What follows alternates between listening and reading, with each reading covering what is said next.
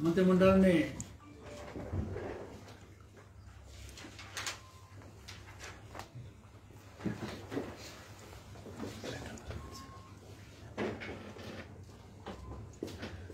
Himachal Pradesh payment of income tax on salaries and allowances of certain categories ordinance 2022 को स्वीकृति प्रदान की है। आपको मालूम है कि पिछली कैबिनेट मीटिंग में मंत्रिमंडल ने निर्णय लिया था कि जो विधायकों को, मंत्रियों को, स्पीकर, डिप्टी स्पीकर को, उनको जो सैलरी मिलती है, उस पर जो इनकम टैक्स दिया जाता है, वो सरकार के द्वारा दिया जाता था। और मंत्रिमंडल ने निर्णय लिया था कि वो जो इनकम टैक्स है, वो स्वयं सैलरी लेने वाला विधायक, मंत्री, स्पीकर, डिप्टी स्पीकर अपने जेब से देगा। आज उसके लिए अध्यादेश जो है वो उसको मंजूरी दी गई है।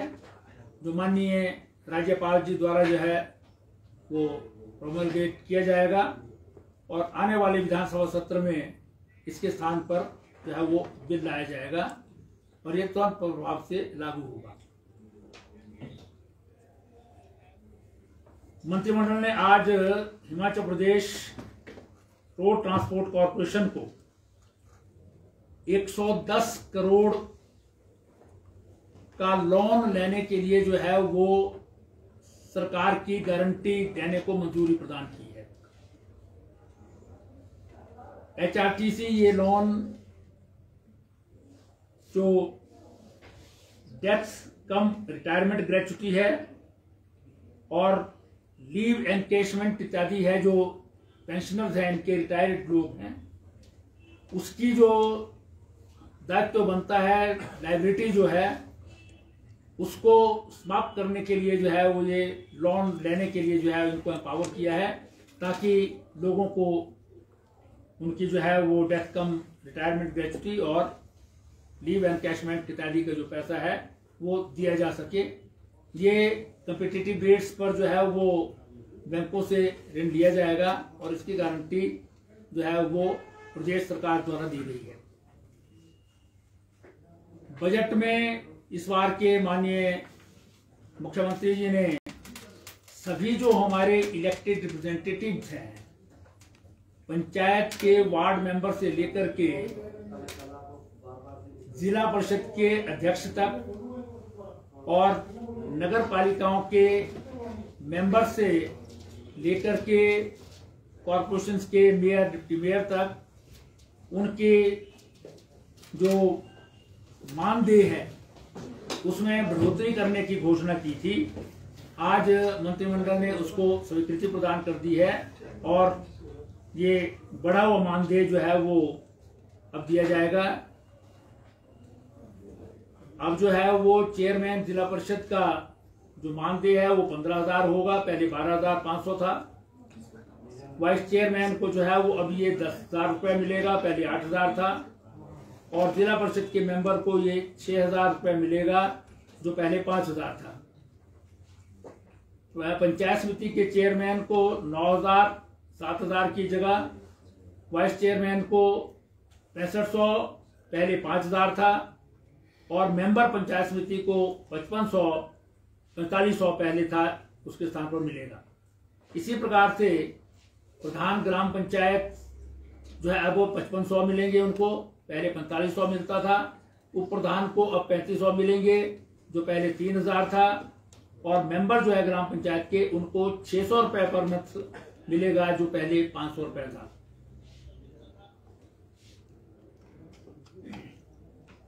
आज, मंत्रिमंडल ने शिमला की जो डेवलपमेंट प्लान है, उसे अपनी स्वीकृति प्रदान कर दी है। उन्नीस सौ उनासी में कानून बना था, लेकिन उन्नीस सौ उनासी तक, आज तक शिमला की डेवलपमेंट प्लान नहीं बनी थी। इंटेरियम डेवलपमेंट प्लान के आधार पर ही काम होते रहे थे। हिमाचल प्रदेश उच्च न्यायालय और नेशनल ग्रेन ट्रिब्यूनल के भी इस बारे में जो है आदेश थे कि डेवलपमेंट प्लान जल्दी बनाई जाए। इकतालीस साल बाद आज जो है वो शिमला डेवलपमेंट प्लान बन करके जनता को समर्पित की गई है, जिसकी डिटेल्स जो है वो आपको पहले भी बता दी गई थी कि जब ड्राफ्ट प्लान आया था उसके बाद जो है उसमें सुजेशंस आए हैं। सतानवे ऐसे सुजेशंस और ऑब्जेक्शंस आए थे, जिनका निपटारा करने के बाद जो है आज अंतिम रूप देकर के ये प्लान जो है वो स्वीकृत किया गया है। इसी के साथ साथ सोलन की जो है वो डेवलपमेंट प्लान में अमेंडमेंट थी उनकी प्लान पहले बनी हुई है। उसमें माइनर अमेंडमेंट्स थी, वो अमेंडेड जो प्लान है वो भी आज मंत्रिमंडल द्वारा उनको भी स्वीकृति प्रदान की है।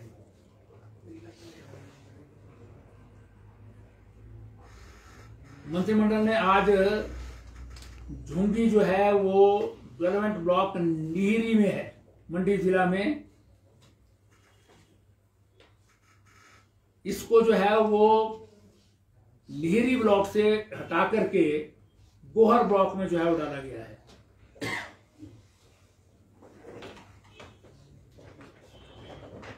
सोलन जिला के जयनगर में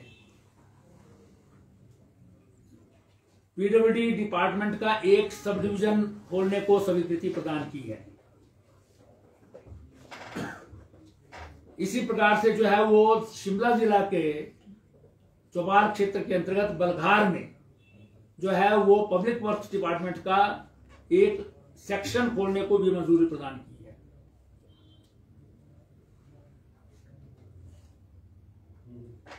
मंत्रिमंडल ने जो है वो नियमों में छूट देते हुए पाँच कनाल से कम जिनके पास जो है वो ज़मीन है, उनको भी ट्रैक्टर खरीदने के लिए जो है वो सेंट्रली स्पॉन्सर्ड सबमिशन जो है एग्रीकल्चर डिपार्टमेंट का उसमें जो है वो छूट प्रदान की है।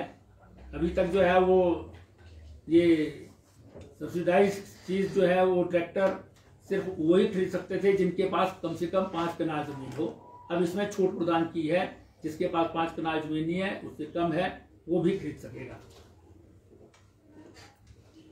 मंत्रिमंडल ने फिर जल शक्ति विभाग का जो है वो एक सेक्शन हटगढ़ में खोला है, जो जल शक्ति सब डिवीज़न बग्गी दो के अंतर्गत आता है।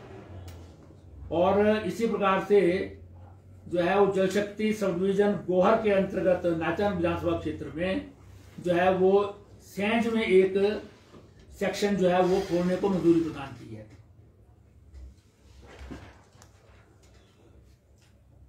इसी प्रकार से जल शक्ति विभाग का एक सेक्शन बल रोपा में, जो चौहार वैली में है, जो पद्धर जल शक्ति सब डिवीज़न के अंतर्गत आता है, वहाँ पर जो है खोलने को मंजूरी प्रदान की है, ये भी मंडी जिला में है।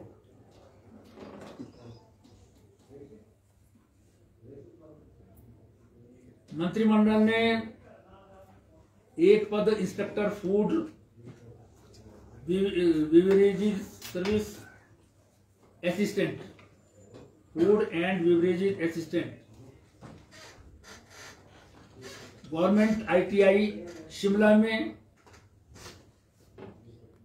एक पद इंस्ट्रक्टर कोपा जो है वो आईटीआई सुन्नी में, एक पद इलेक्ट्रॉनिक्स के इंस्ट्रक्टर का, गवर्नमेंट आईटीआई वुमेन बिलासपुर में, और एक पद इंस्ट्रक्टर इंफॉर्मेशन टेक्नोलॉजी का जो है वो आईटीआई सुन्नी में जो है वो सृजित करने को भी मंजूरी प्रदान की है। मंत्रिमंडल ने रिगर वाला जो ग्राम पंचायत कोलावाला बुड में है, जो एजुकेशन ब्लॉक सुर्रा नहान असेंबली कंस्टिट्यूंसी में आता है, वहाँ पर एक प्राइमरी स्कूल खोलने को मंजूरी प्रदान की है। एक नया प्राइमरी हेल्थ सेंटर जो है, वो बांदल ग्राम पंचायत पिशौड़ मंडी जिला में जो है वो इसको खोलने को भी मंजूरी प्रदान की है। साथ ही तीन पद जो है वो वहाँ पर सृजित करने की को भी मंजूरी प्रदान की है। इसी प्रकार से जो है वो एक पद, एक हेल्थ सब सेंटर बखाड़ी जो ग्राम पंचायत कांधी मंडी जिला में है, वहाँ पर जो है वो खोलने को मंजूरी प्रदान की है। मंत्रिमंडल ने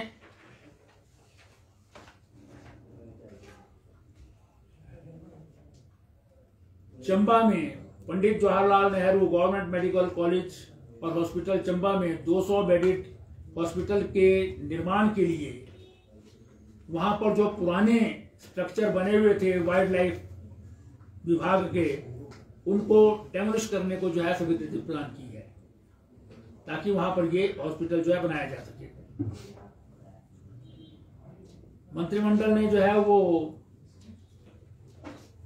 doctor Rajendra Prasad medical college Tanda में जो है वो बीएससी पैरामेडिकल टेक्नोलॉजी में जो है वो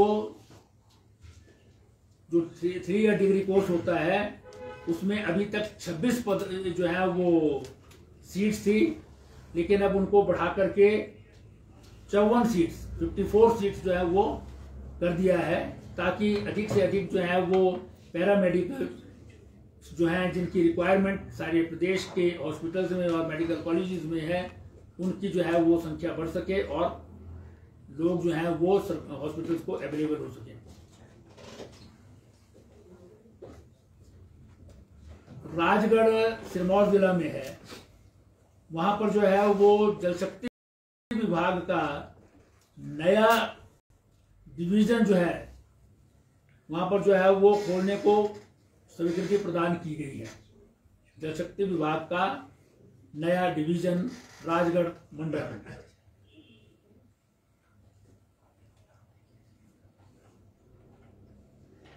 Rajiv Gandhi government Ayurvedic post graduate college Kaprola के जो विद्यार्थी हैं पीजी करने वाले जो पोस्ट ग्रेजुएशन वहाँ पर कर रहे हैं, उनके स्टाइफंड में आठ हज़ार रुपए की बढ़ोतरी की है।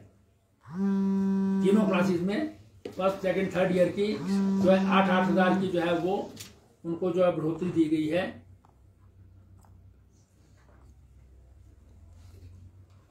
मंत्रिमंडल ने रेणुका जी विधानसभा क्षेत्र में जो है वो कंडो बायला में जो ददाऊ तहसील में पड़ता है, एक आयुर्वेदिक हेल्थ सेंटर खोलने को भी मंजूरी प्रदान की है। जिसमें तीन पद डिफरेंट कैटेगरीज के भरने को भी मंजूरी प्रदान की गई है।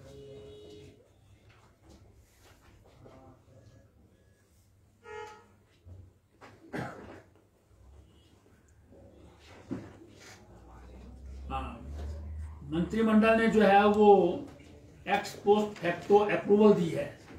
क्योंकि पहले इसकी घोषणा हो चुकी थी, काम भी शुरू हो चुका था, जो हमारे हिम केयर के कार्ड बनते हैं, मुख्यमंत्री हिम केयर योजना के अंतर्गत, वो एक साल के लिए बनते थे, अब वो तीन साल के लिए बनेंगे, और प्रीमियम उसका जो पहले एक हज़ार था, या कुछ कैटेगरीज के लिए तीन सौ पैंसठ रुपए था, वो उतना ही रहेगा लेकिन कार्ड जो है अब तीन साल के लिए जो है वो बनेंगे तो उसको भी आज जो है वो मंत्रिमंडल ने मंजूरी प्रदान की है। मंत्रिमंडल के निर्णय पर जो मुझे कहना था कह दिया है, आपको कुछ पूछना हो तो। जी जी। छह महीने के अंदर करना पड़ता है। नहीं तो दोबारा करना पड़ेगा। लेकिन ऑर्डिनेंस हो गया है अपने आप में कानून है।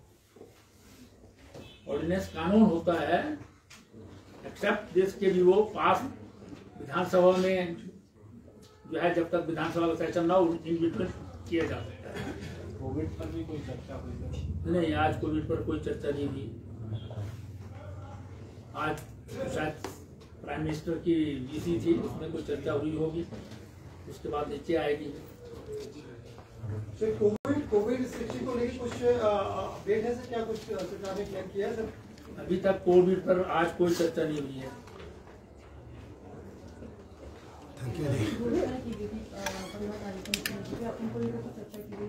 तो वो टाइम टाइम पर आती है घोषणाएँ की गई हैं वो जैसे जैसे जिसकी रिक्वायरमेंट होती है कैबिनेट में आने की वो कैबिनेट मेमोरेंडम बन आ जाते हैं। वो अपने टाइम पर आ जाएँगे।